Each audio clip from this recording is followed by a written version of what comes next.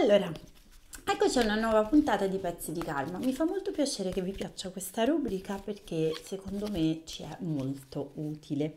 Andiamo a vedere di cosa parleremo questa settimana. Questo sarà il pezzo di Calma da guarire e questo come guarirla. Io già ho visto.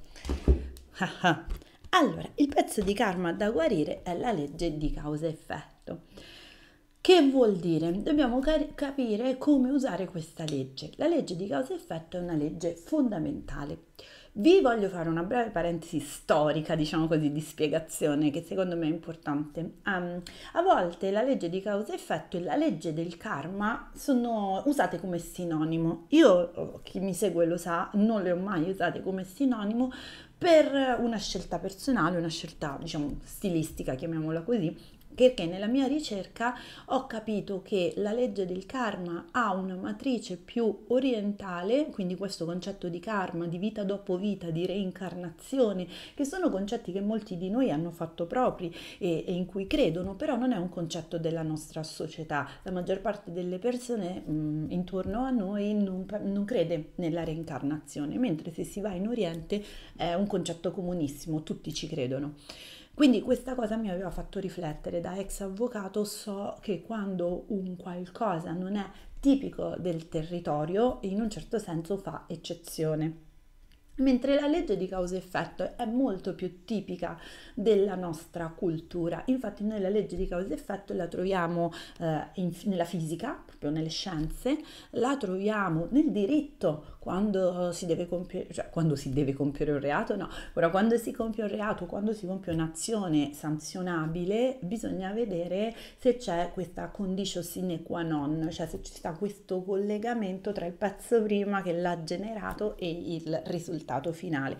Quindi se per esempio, non lo so, mh, mm, faccio conto, eh, voi fate un'azione e succede un qualcosa affinché la persona possa reputare, o lo Stato possa reputarvi mh, responsabili ci deve essere una vera e propria interconnessione. Non è che magari, non lo so, uno eh, fa una cosa e dice sì, però eh, il vicino mi ha, mi ha, stressato. No, ci deve essere veramente una, una sequenza logica, un qualcosa.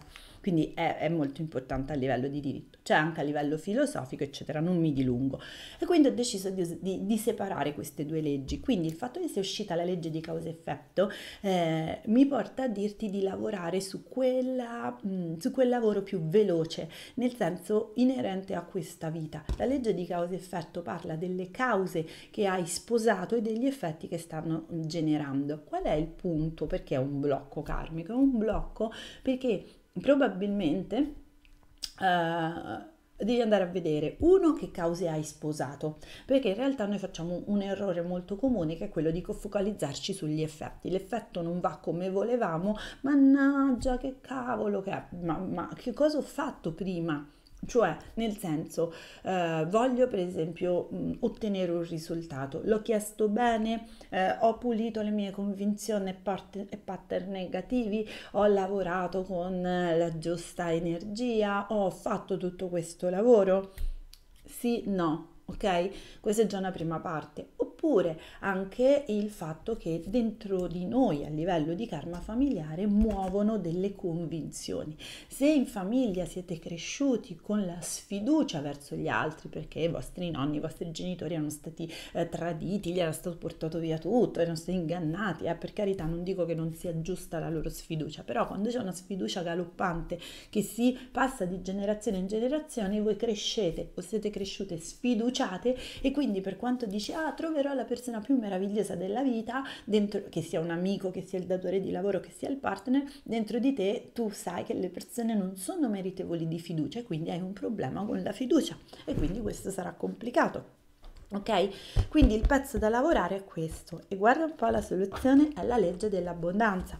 Questo limite lavora con ehm, sull'abbondanza, quindi la guarigione è iniziare a fare, ti do un esercizio pratico questa cosa, una lista che, delle cose che vuoi attrarre nella tua vita. E attenzione che quando si lavora questo, mm, questa combo, questa unione, potrebbe essere che è come se tutto ti andasse male, tutto ti andasse all'opposto, quindi chiedi una cosa e è l'esatto opposto desideri una cosa è l'esatto opposto. Bene, ok? Tu dici bene, come bene? Sì, bene, benissimo, perché vuol dire che c'è da lavorare sulle cause. Entra dentro di te, vai a, eh, dici, non so, voglio manifestare più soldi, invece arrivano bollette. Non è la legge, le leggi non funzionano o, ah, non ci credo più, ah, bla bla bla. È che cavolo, dov'è il blocco? Perché dov'è la causa che non ha generato l'effetto sperato? Quindi lavora sugli effetti, vai a vedere l'abbondanza nella tua vita e per abbondanza, lo ripeterò sempre, non intendo soltanto abbondanza eh, di soldi, intendo abbondanza di salute, abbondanza di amicizie, ricchezza. Sei ricca, la tua vita è ricca, la tua storia è ricca e meravigliosa, la tua socialità è appagante, vieni cercata dalle persone, ti vogliono stare con te. Il tuo conto in banca, anzi i tuoi conti in banca sono belli prosperi, mm, vivi una vita ricca sotto tutti i punti di vista di esperienze, di gioia tu dici, magari mi stai ascoltando e dici, vabbè, sei pazza, non esiste. Ecco, c'è il problema con la legge di causa effetto. È là che devi iniziare a lavorare. Fatti la lista per aree tematiche di come potrebbe essere bella, di dove potrebbe essere più ricca la tua vita e poi pezzo a pezzo vai a capire dove è bloccato.